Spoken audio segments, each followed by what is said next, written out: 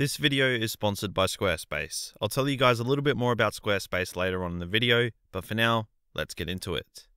The Star Wars Battlefront franchise is one of, if not the most beloved Star Wars gaming franchises that there is. Spanning the journey from 2004 to 2020, it's been one hell of a journey with many ups and many downs. In this video, I'm going to go over the complete history of Battlefront games from the original Star Wars Battlefront in 2004 to right now in 2020 with Battlefront 2 coming to its sudden end.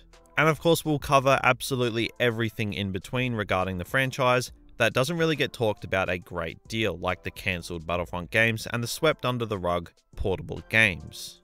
So kick back and relax as we dive deep into the complete history of Battlefront games. So let's take it all the way back to 2004 where Pandemic Studios released this little game called Battlefront, a new Star Wars game that brought us a variety of Star Wars content from both the original trilogy and currently releasing at the time, prequel trilogy. Bringing incredible locations for the players to explore and do battle on, like Bespin, Naboo, Endor, and Tatooine, as well as more unique planets like Rhen Var. Battlefront also brought along a campaign that basically took the playlist from instant action and played out in chronological order with cutscenes from the films to just help tie it together and give it a sense of story. On top of that, the now iconic Galactic Conquest game mode was born, allowing players to take the fight across various planets, and fans still to this very day want almost nothing more than to see this mode in current Battlefront games. Looking back now, one of the game's major downsides is the fact that there are no playable heroes in the first Battlefront installment. Instead, heroes were nothing more than AI, with absolutely no control over them coming to the player. But at the time, this wasn't a deal breaker, as the franchise was still in its first steps. Overall, Star Wars Battlefront was an incredible entry point for this new franchise. Players universally praised the game, as did critics, and looking back on it now, you can see that the Battlefront franchise has come so far since its very first installment. But it definitely does pay to remember the roots of this franchise. Now, given the success of Battlefront, Pandemic Studios went to work on an immediate sequel. Enter Battlefront 2 2005, just over a year later, Star Wars Battlefront 2 hit the shelves and we had a new Battlefront game on our hands that kicked it up several notches from its predecessor. Taking everything great about the first game and adding basically everything that the first Battlefront was lacking.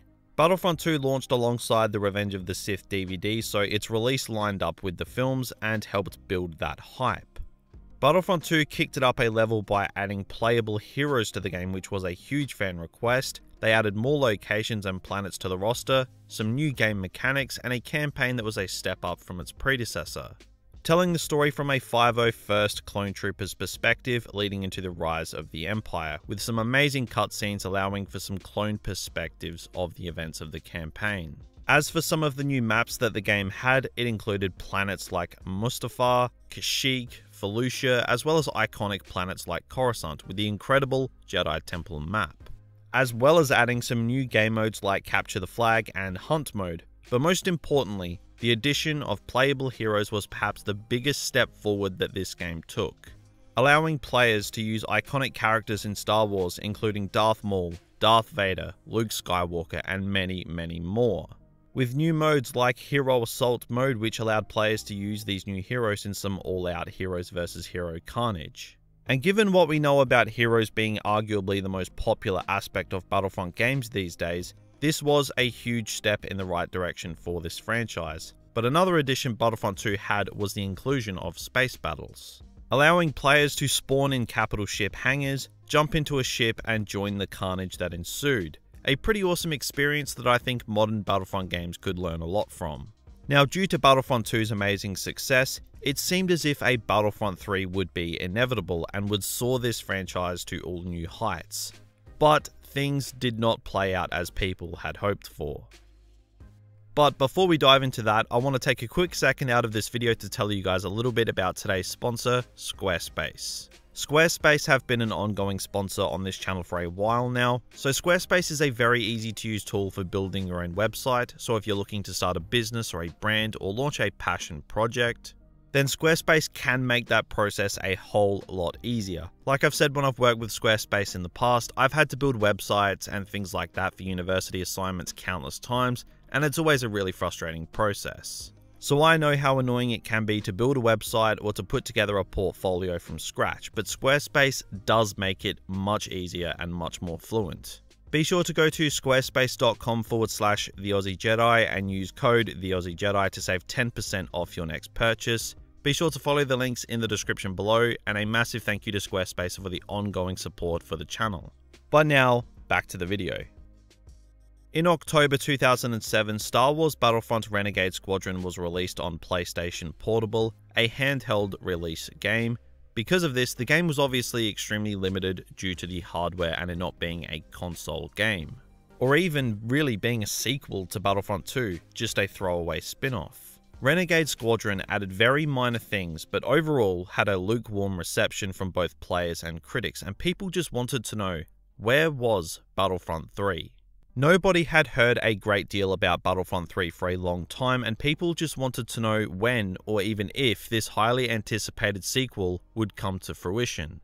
Now, given what we know now, which is still shaded in uncertainty, still to this day, the story goes that a former LucasArts employee went and spilled the beans to a video game website by the name of Kotaku. He claimed a Battlefront 3 was in development and Free Radical were working on the game, but shortly after Free Radical came out and announced that they lost the rights to the already in development Star Wars Battlefront 3 and that the game had been cancelled mid development. Now, the cause of this game's cancellation is still shrouded in mystery to this very day. Some rumours say that Free Radical's developers were constantly missing deadlines, and that they just couldn't commit the resources to deliver the scale and content that the game was going for. So, LucasArts pulled the plug, and other rumours say that LucasArts couldn't commit to spending a ton of money on the game's marketing, so they pulled the plug with the game not far off completion. So we obviously don't know the truth, and I wouldn't be surprised if there was some middle ground there. But from what we have seen of gameplay that has trickled out over the years, the game did seem to be very ambitious, but very rough still. But it seems the game would have featured Space to Ground as well as a big, big campaign. Now, following this, in November of 2009, Star Wars Battlefront Elite Squadron was released. Again, another handheld game, but very average overall. And in 2009, the not so good Star Wars Battlefront Mobile Squadrons was released to, you guessed it, mobile phones, and that was a bit of an ignored dud. And for nearly four years, there was absolutely nothing on Battlefront games.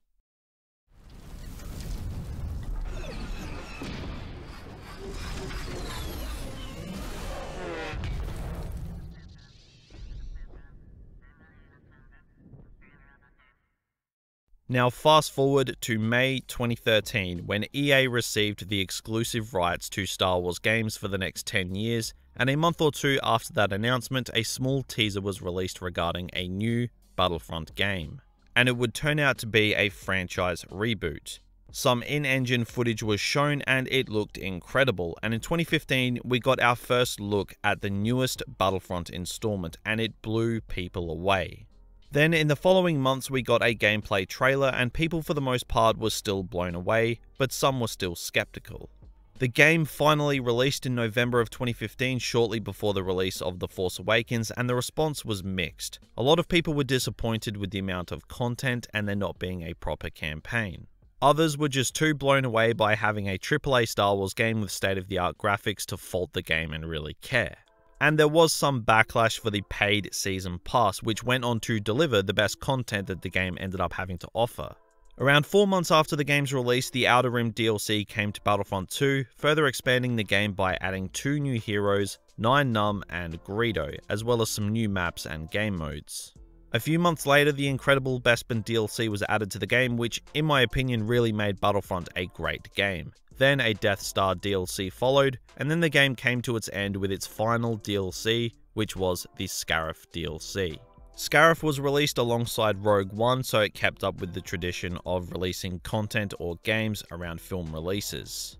Now, by this time, Battlefront was a completed game and had come a long way from its launch. And once all the DLC had made its way into the game, it had become a very, very good game by its end. Looking back now, the hero gameplay in Battlefront is a little bit janky, but the graphics and fun you could have was just incredible. Then for a little while there, things went a little bit quiet, but not for long.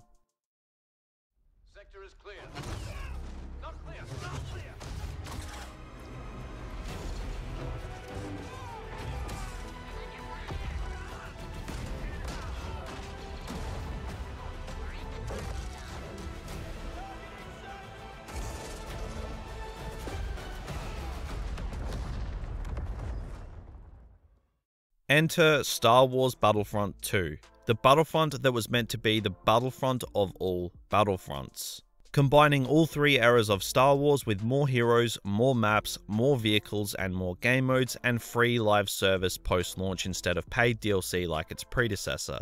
Seeing Darth Maul appear in the game's reveal trailer sent the internet absolutely wild in the best ways, and it looked like things were going to be incredible.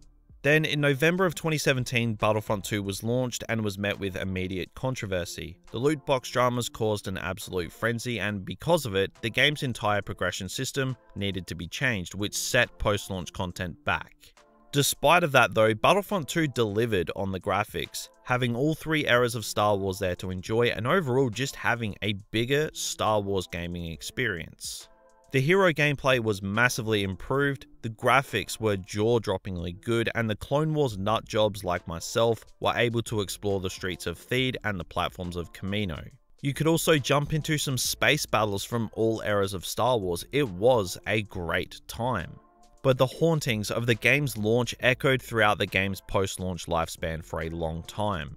The Last Jedi DLC dropped alongside the film and was considered to be really good, but after that things went very quiet as DICE were hard at work revamping the progression system, so there was no new content for some time. People wanted Clone Wars content, but it just didn't happen.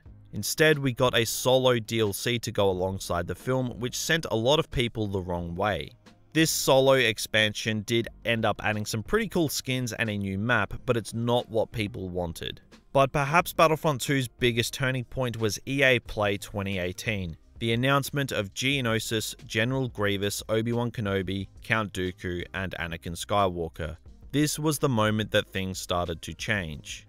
A few months followed and General Grievous came to the game and a month after that is the update that truly changed Battlefront 2 forever. The balance of the Force has been shaken. Obi-Wan Kenobi came to Battlefront 2 and Geonosis came along with him. Within a year, DICE had truly gotten Battlefront 2 back on track to become the game that it was always supposed to be. A few months later, Count Dooku and Anakin Skywalker came to the game and really boosted the hero roster. With these four new heroes, it felt like an entirely new game mainly because Anakin was broken beyond belief and almost destroyed the game for a little while there, but the game had really turned around. And throughout 2019, a bunch of updates came to Battlefront 2 and it was slowly built up and the game had really came to life in a big way. And by the time December of 2019 came around, Battlefront 2 had probably its most popular period yet. The Rise of Skywalker expansion came to Battlefront 2 to go alongside the film, which brought Ajan Kloss, a bunch of hero skins and BB-8 and BB-9E. Pretty controversial, but fun heroes. The player base for Battlefront 2 absolutely skyrocketed, and the new Celebration edition of the game exceeded sales expectations. Battlefront 2 was booming. And following that, the game got more small updates, but on April 29th of 2020, the Battlefront community got hit with an absolute bombshell. The Scarif update would be the final update for Battlefront 2, a really confusing time for absolutely everybody. Battlefront 2 was booming, it was so popular, its player base was through the roof, and the game just came to a sudden end. Truly one of the strangest endings for a game like this, but having said that, the final product of Battlefront 2 was an incredible story. By the time Battlefront 2 had come to its end, it had become arguably the best Battlefront game ever made, and it made everybody hungry for a new Battlefront title. And here we are, present day July of 2020. We seem to now be faced with the mystery of the elusive Battlefront 3 once again. Is it going to come? Nobody knows. The original Battlefront 3 was a ghostly figure following the Battlefront games of the mid 2000s, and it seems we are faced with the same ghostly figure right now in 2020 with the new generation of Battlefront games. Will we ever see this Battlefront 3? Who knows, but what I can say is the Battlefront franchise has undergone an incredible journey. And a Star Wars Battlefront 3 could very well end up being the game to cap off an incredible era for an incredible game franchise. So guys, thank you all for watching. If you enjoyed this video, then be sure to drop a like and subscribe to the channel if you are new, and let me know your favorite Battlefront game in the comment section below. But that's it for me today, so thank you all for watching, and have a good one.